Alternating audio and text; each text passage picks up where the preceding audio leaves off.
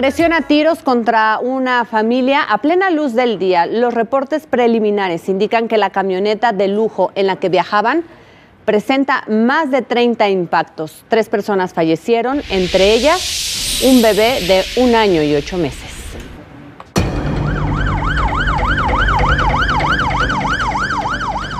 Todas las unidades cercanas se desplegaron de inmediato a este punto de periférico y 5 de mayo en Zapopan.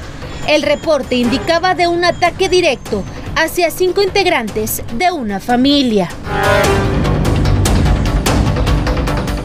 Al arribo de los oficiales, esta era la escena. Una camioneta de lujo que presentaba más de 30 impactos. El conductor, la mujer que iba de copiloto y un bebé de un año y ocho meses murieron por la ráfaga de balas que recibieron.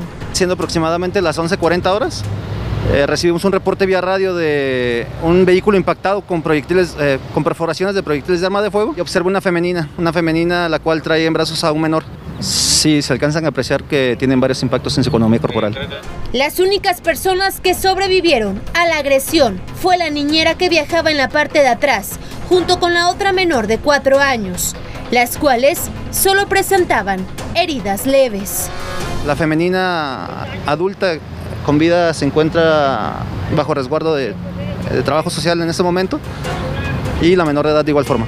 De los causantes no había pistas, pero el hecho trascendería aún más, ya que el conductor de la camioneta fue identificado como Irving Olivas, hermano del cantante grupero Alfredo Olivas. Las otras dos víctimas eran la cuñada y sobrino del artista, la Fiscalía del Estado, por su parte, emitió un comunicado mencionando que el caso ya es investigado. Con imágenes de Jorge Barajas, Paulina Limón, Azteca Noticias.